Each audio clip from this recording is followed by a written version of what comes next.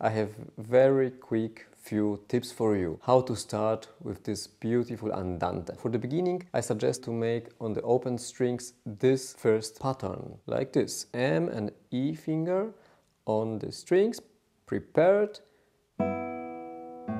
Preparing. Preparing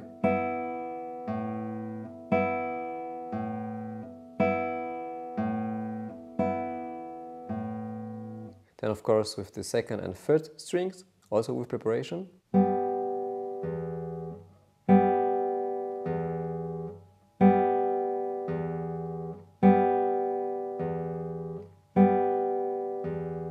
And also very important would be to play the pattern for the part B. Like this, I would start with fingers, preparing, thumb, fingers, and then playing only M, E, preparation of course. Then practicing also with A finger and E with preparation. A, E, preparing, preparing. And then of course doing the same with thumb, like preparing the strings and then playing second M finger with thumb.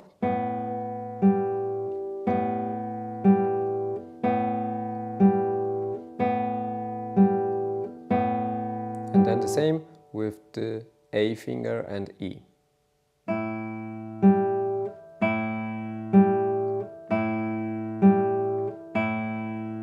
If you used to play it from the air like this, you can do it of course also, it's very helpful to practice also from the air.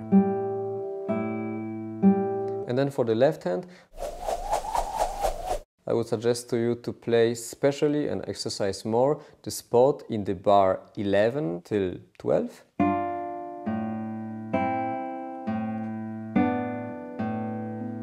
And then be smart while changing to the first finger on Gis, doing like this. And the first finger slides to the Gis.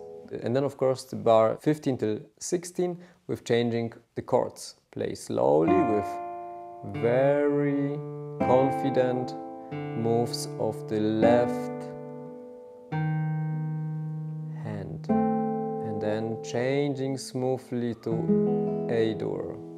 One more time, very slowly. Cats move, very smart moves, easygoing moves and then stretching, bringing the hand to the terts and then changing smoothly. Thank you for watching, I hope you stay guitarized with me and till the next time.